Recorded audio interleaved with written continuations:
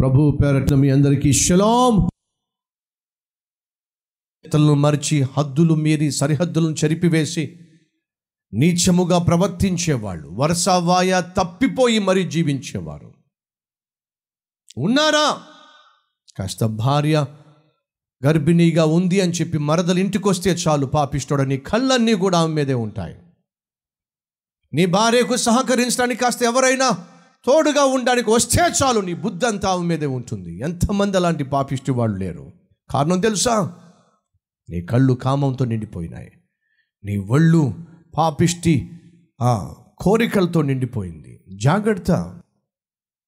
ఒకవేళ భర్తగా నువ్వు ఇష్టానుసారంగా జీవిస్తే దానికి ఏదో ఒక రోజు మూల్యము చెల్లించక తప్పదు. ఒకరోజు ఒక వ్యక్తి పాస్టర్ గారి దగ్గరకు వచ్చి అడుగుతున్నారు పాస్టర్ గారు మీ సలహా నాకు కావాలి. ఏమిటి?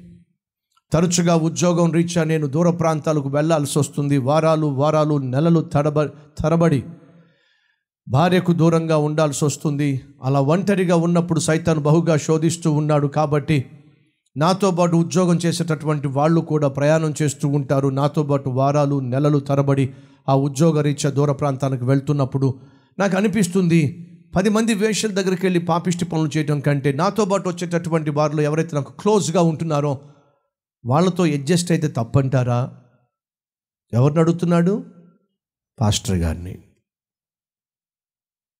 అప్పుడు పాస్టర్ గారు అన్నారు ఒక నిమిషం ఆగు ఆగుబాబు అని చెప్పి లోపలికి వెళ్ళి ఒక ఉత్తరం తీసుకొచ్చాడు. ఎవరో పోయిన వారం మన మందిరంలో ఆఫరింగ్ బాక్స్లో ఆఫరింగ్తో పాటు ఈ ఉత్తరం కూడా వేశారు నాయన. చదువుతా నాగు అని చెప్పి పాస్టర్ గారు మా ఆయన ఉద్యోగము ఉద్యోగం అని చెప్పి వారాలు తరబడి నెలలు తరబడి దూర దూర ప్రాంతాలకు వెళ్ళిపోతూ ఉంటాడు. నన్ను ఒంటరిగా విడిచిపెట్టి వెళ్తూ ఉంటాడు. సైతాను వచ్చి అనేక రీతులుగా నన్ను శోధిస్తూ ఉన్నాడు. ఇలా అనేక రీతులుగా శోధించబడుతున్నప్పుడు పక్కింటి వాడు ఎప్పుడు చూసి నన్ను నవ్వుతూనే ఉంటాడు. నా భర్త ఇలా వారాలు వారాలు నెలల నెలలు తరబడి ఆ విధంగా దూర ప్రాంతాలకు వెళ్ళినప్పుడు నేను పక్కింటి అతనితో అడ్జస్ట్ కావచ్చా? ఎదురుగుండా ఉన్నవాడు ఇదేదో మన కేసులా ఉందేంటి? పాస్టర్ గారు పాస్టర్ గారు ఒక్క నిమిషం ఒక్క నిమిషం. ఆ ఉత్తరం మడత పెట్టకండి. ఒకసారి నాకు ఇస్తారా? ఎందుకు బాబు నీకంత టెన్షను? ఒకసారి ఇస్తారా? అర్థమైపోయింది. ఈ హ్యాండ్ రైటింగ్ మా ఆవిడదే. మోసపోవద్దు దేవుడు వెక్కిరించబడడు. మనిషి ఏం విత్తుతాడో?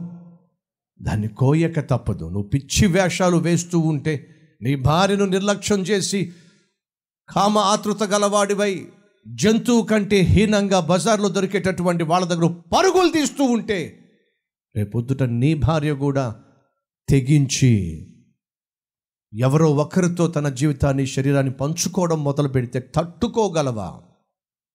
భరించగలవా?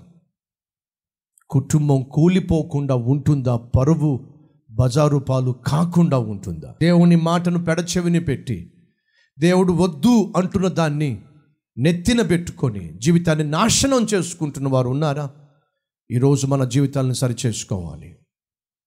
మనలో స్త్రీ కావచ్చు పురుషుడు కావచ్చు భర్త కావచ్చు భార్య కావచ్చు దారి తప్పే స్వభావం కానీ పరపురుషుని వ్యామోహం కానీ పరస్త్రీ వ్యామోహం కానీ పెళ్ళి కాకుండానే బాయ్ ఫ్రెండ్తో గర్ల్ ఫ్రెండ్తో పాపిష్టి కార్యాలు చేసేటటువంటి తత్వం కానీ ఇదంతా కూడా దేవునికి వ్యతిరేకమైనటువంటి జీవిత విధానం.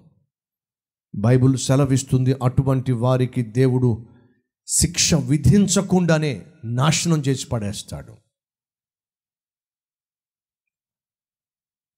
ఎన్నిసార్లు గద్దించినను లోబడకపోయినట్లయితే దేవుడు మరి తిరుగు లేకుండా నిన్ను శిక్షించి పడేస్తాడు. ఆ రోజు రాకమునిపే ఈరోజు నీ జీవితాన్ని దిద్దుకోవాల్సిందిగా కోరుతున్నాను. పరిశుద్ధుడు అయిన తండ్రి బహుసూటిగా స్పష్టంగా మాతో మాట్లాడావు. నేర్చుకోవడమే కాదు హెచ్చరికను పొందుకుంటున్నావు. పరాయి స్త్రీని ఉంచుకోవడం ఏమిటి? ఉపపత్నులుగా మార్చుకోవడం ఏమిటి? కామాతృత కలవాడై మోహించటం ఏమిటి? ఇది తగదు నాయనా! అటు మార్గంలో ఒకవేళ మాలో ఎవరైనా నడుస్తున్నట్లయితే భార్యను మోసగిస్తూ భర్తను మోసగిస్తూ పిల్లలను మోసగిస్తూ తల్లిదండ్రులను మోసగిస్తూ నీచమైన కార్యకలాపాలలో మునిగి తేలుతున్న వాళ్ళు ఎవరైనా ఉన్నట్లయితే నాశనము త్వరలో వారి మీదకి రాబోతుంది కనుక ఈరోజే అట్టివారు తమ తప్పును ఒప్పుకొని పాపమును నీ సన్నిధిలో విడిచిపెట్టి ఇక నుంచి యథార్థముగా పవిత్రముగా పరిశుద్ధముగా జీవించులాగున సహాయము చేయమని. యేసునామం పేరట వేడుకుంటున్నాం తండ్రి. ఆమెన్.